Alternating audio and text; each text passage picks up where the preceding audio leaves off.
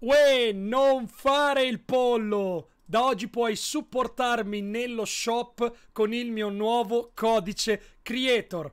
Clicca in basso a destra sul tasto Supporta un creatore ed inserisci Xiuderone.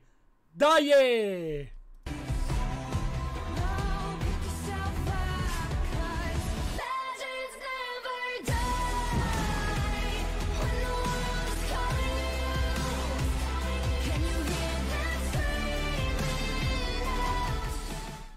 Uè, bella a tutti ragazzi e benvenuti ad un mio nuovo video! Io sono Xuder e mamma mia ragazzi, continuano tutte le news e leaks riguardanti il nostro tanto amato Fortnite. Nel video di oggi avremo un bel po' di notizie sul terremoto, su quello che sta succedendo, sulle crepe che stanno pian piano invadendo una porzione specifica di mappa. Parleremo anche delle nuove modalità a tempo limitato, sono davvero tantissime ragazzi. Trovate nei file di gioco. Voglio farvene vedere un paio davvero super interessanti e ragazzi fase 4 del prigioniero oggi questo pomeriggio sembrerebbe che arriverà l'ultima fase del prigioniero vi spiegherò tutto in questo video Intanto vi ringrazio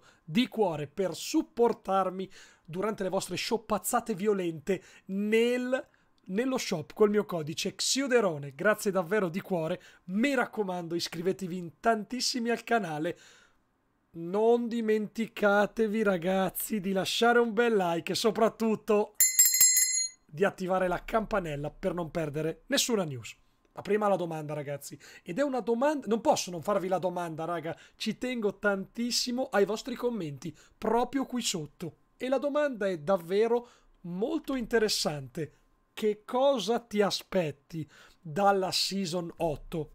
Cosa pensate che succeda, ragazzi? O meglio, cosa vorreste che succedesse? Forse un po' più bella detta così. Beh, io credo, ragazzi, che sia scontato, ovviamente, che il terremoto e le crepe formeranno prima o poi un distaccamento da parte della mappa, o meglio, di una buona porzione di mappa. Mi aspetto davvero un bel po' di cose inerenti all'acqua, anche perché, se ci pensiamo, la season 8 ci porterà fino ben oltre la primavera, quindi potrebbe già essere un qualcosa di inizio per l'estate. Fatemi sapere ragazzi qua sotto nei commenti cosa ne pensate. Ma quindi, ciancio le bande!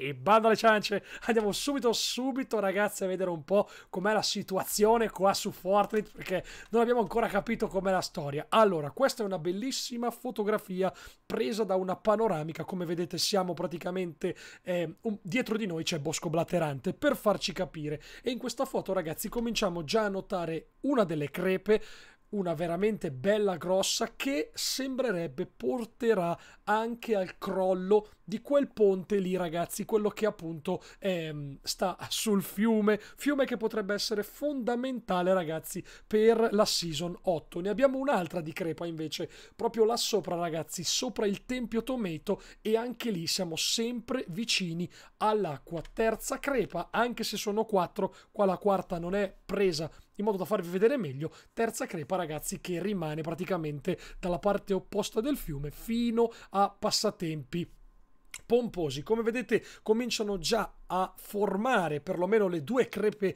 eh, di lì un disegno, potrebbero già davvero essere molto molto interessanti e sicuramente le prossime non tarderanno ad arrivare. Voi volete sapere quando? Vi faccio vedere questo, ragazzi. Prot! Questa, ragazzi, è la tabella ufficiale di tutte le 25 crepe che si creeranno nella mappa. Vi spiego come leggere questa tabella in modo che possiate ehm, anche voi sapere il momento esatto. Quelli sono gli orari delle crepe e gli orari sono nel, ehm, nell'est time, quindi bisogna contare 6 ore in più. Ok, noi siamo 6 ore avanti. Indicativamente la prossima crepa dovrebbe arrivare, ve lo dico aggiornato nel momento in cui state vedendo il video, alle 7 e mezza.